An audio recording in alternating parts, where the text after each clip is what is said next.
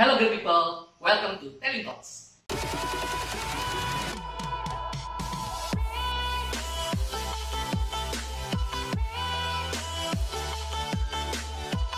Well, hello great people. Hope you guys are doing well. Senang sekali rasanya saya Ferdi yang akan menjadi host untuk episode Telling Talks kali ini.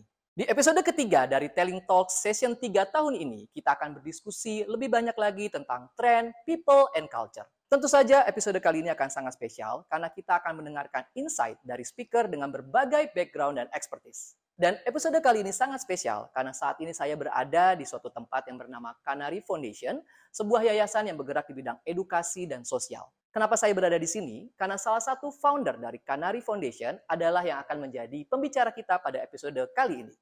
Hai great people, yang seperti sudah tadi saya sampaikan, hari ini akan sangat spesial karena kita akan berbincang dengan salah satu founder dari Canary Foundation yang biasa disapa dengan Bayu Rini. Bayu ini adalah seorang karyawan Telin dan juga seorang yang tadi sudah saya sampaikan ya, uh, founder dari Canary Foundation. Tapi selain itu, yang sangat spesial, Bayu ini baru saja mendapatkan award atau recognition dari Telin yang dengan kategori Most Empowering Woman. Kategori Most Empowering Woman diberikan kepada wanita-wanita yang berkontribusi bukan hanya di tempat kerja, tetapi juga di lingkungan, baik di bidang edukasi maupun di bidang sosial. Nah, sudah penasaran kan dengan Bayu ini? Mari langsung saja kita sapa Bayu Rini sebagai pembicara kita pada episode kali ini. Kali ini saya sudah bersama dengan Bayu Rini atau biasa dipanggil Rini yang tadi sudah saya sampaikan seorang founder dari Canary Foundation. Langsung saja yuk sama-sama kita sapa.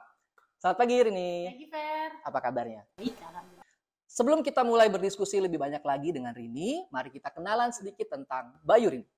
Bayu Rini atau biasa disapa dengan Rini adalah seorang lulusan Fakultas Ilmu Sosial dan Politik, jurusan Kriminolog di Universitas Indonesia. Saat ini Rini sebagai Risk Management Manager Telin dengan berbagai pengalaman di telco dan LSM. Ibu dari tiga orang anak ini juga menjadi founder dari Yayasan Cita Insani Negeri atau Kanari Foundation sejak 2019. Selalu berpikir luas dan bertindak nyata dengan hati gembira menjadi motivasi hidup dari Bayu Rini. Hai Rin, uh, sebelum kita ngobrol-ngobrol lebih banyak lagi ya, boleh cerita nggak ke Great People kesibukan Rini saat ini tuh apa saja sih? Oke, jadi kalau aku uh, selain sebagai karyawan Telin ya, aku di unit corporate finance and business management. Uh -huh. Aku juga seorang ibu dari tiga anak dan juga mungkin tadi Ferdi juga udah sampaikan uh, founder dari Canary Foundation di mana setiap ini weekend sih ya, yeah. Kita melakukannya weekend gitu. Setiap minggu kita ada uh, kegiatan sosial mingguan, bulanan dan juga tahunan. Hmm. Nah, Rin, uh, tadi kan sudah saya sampaikan bahwa Rini itu juga seorang karyawan Telin, tapi juga seorang founder dari Canary Foundation gitu ya. Boleh cerita nggak sih uh, ke Great People, uh, kenapa sampai Rini punya motivasi untuk mendirikan Canary Foundation ini? Oke, okay, uh, jadi ceritanya dulu saya sama suami itu punya, selain bekerja ya, kita punya usaha kan. Dan dari situ uh, kita ngerasa uh, Tuhan baik banget ya sama kita gitu. Jadi uh, kita ngerasa kayaknya ada hal yang lain dah yang bisa kita lakukan lebih untuk orang lain. Jadi di tahun 2019 kita mendirikan Canary Foundation. Alhamdulillah sampai saat ini masih ada dan kegiatan kita juga banyak. Oh berarti sudah dari tahun 2019 ya Rin ya, sudah hampir tiga tahun. Nah kalau saya boleh tahu, apa saja sih kegiatan dari Canary Foundation itu Rin? Oke, jadi kita di sini itu sebenarnya fokus ke pendidikan. Kita ngelihat bahwa uh, ada gap antara desa dan kota ya, mm -hmm. Jadi kenapa kita lebih fokus ke pendidikan anak-anak di desa, khususnya mm -hmm. di Banten.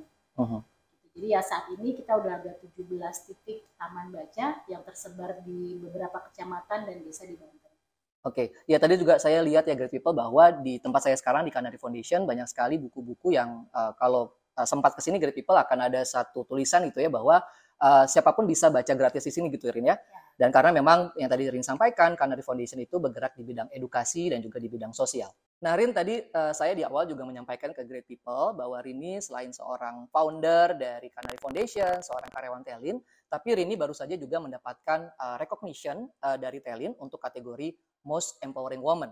Uh, pas mungkin Great People ingin tahu pendapat Rini tentang peran wanita itu sendiri seperti apa sih, Rin? Oke, uh, kalau menurut aku ya peran wanita saat ini memang beda ya dengan wanita zaman dulu. Mungkin kalau sekarang eh, pasti satu orang itu punya roles yang banyak hmm. di rumah kita sebagai ibu sebagai istri tapi di kantor juga kita sebagai karyawan hmm. tapi di luar itu sebenarnya eh, aku yakin banget ya bahwa wanita itu masih punya semangat atau masih punya baterai untuk bisa lebih eh, bermanfaat di luar peran utama tadi yaitu hmm. lebih ke masyarakat Hmm. Jadi menurut aku sih peran wanita itu sangat borderless, tidak hmm. terbatas. Jadi kalau kita bisa mengeksplor apa yang kita uh, concern yang kita sukai ya gitu itu aku yakin akan bisa lebih banyak memberikan manfaat. Oke. Okay. Nah, uh, kembali ke yang tadi yang uh, kategori most empowering woman ya Rin ya. Kalau menurut Rini sendiri apa sih arti dari kata-kata most empowering woman? Dan mungkin kalau ada lanjutannya nih Great People juga pengen tahu mungkin apa rahasianya sehingga Rini bisa mendapatkan uh, recognition itu dari Telin jujur ya sebenarnya aku nggak nyangka akan ada recognition itu hmm. uh, fair gitu karena waktu itu memang uh, hanya simply ngisi kegiatanmu uh. apa sih di luar kantor gitu kan so, oh iya aku iya. write down semua kegiatan hmm. kanari gitu ada hmm. kegiatan mingguan kegiatan bulanan maupun tahunan hmm. jadi kalau menurut aku uh, most empowering woman itu ya tadi ya ketika peran wanita itu tidak dibatasi hmm. tidak hanya domestik aja tapi juga karir dan juga lebih memberikan manfaat keluar. Oke. Okay. Nah ini kan Great People kan uh, sedang menyaksikan kita nih ya di episode kali ini ya Rin ya. Uh, mungkin ada pesan-pesan atau rahasia khususnya buat para wanita di luar sana agar mungkin ya saya juga pengen nih sebetulnya uh, menjadi seorang wanita yang most empowering lah, most empowering woman. Kira-kira hari ini ada tipsnya atau ada pesan yang ingin disampaikan tidak? Um, menurut aku sih uh, wanita itu suatu apa namanya sosok yang kuat ya gitu dia bisa membagi perannya. Itu tuh bisa bisa multitasking lah. Hmm. perempuan tuh bisa multitasking. Gitu. bukan berarti kita kita ketika kita berkarir kita mengesampingkan keluarga. Enggak enggak seperti itu gitu. Atau misalkan kita mengkotak-kotakan roles kita. Oh saya ibu rumah tangga saya ibu ibu bekerja enggak gitu ya.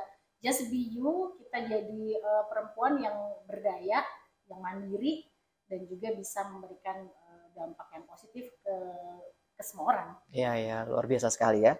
Nah, great people, sedikit uh, summary dari apa tadi yang sudah disampaikan Rini tentang uh, empowering woman atau most empowering woman, bahwa seorang wanita itu uh, memiliki uh, kesempatan untuk memberikan peran, gitu ya, melakukan dampak bukan hanya kepada lingkungan, tapi juga berada di lingkungan keluarga maupun di lingkungan pekerjaan. Nah, mungkin sebelum kita tutup episode kali ini, uh, saya ingin mengundang Rini untuk memberikan closing statement kepada great people. Ya, menurutku kita sebagai wanita pasti punya peran yang banyak ya, baik di rumah, di kantor maupun di luar rumah. Tapi aku yakin apabila kita menjalankan semua peran kita itu dengan hati yang gembira dan juga ikhlas, aku yakin semua peran itu bisa dijalankan dengan baik.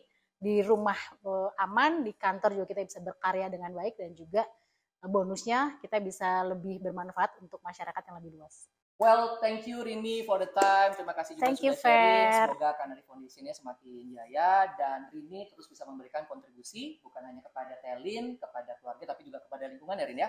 Sekali lagi terima kasih ya Rin. Thank you Fair. And to all great people, we hope you enjoy our talk. I'm your host Ferdi. See you on our next episode. Stay tuned on Telling Talks, connecting the ideas. Bye bye great people.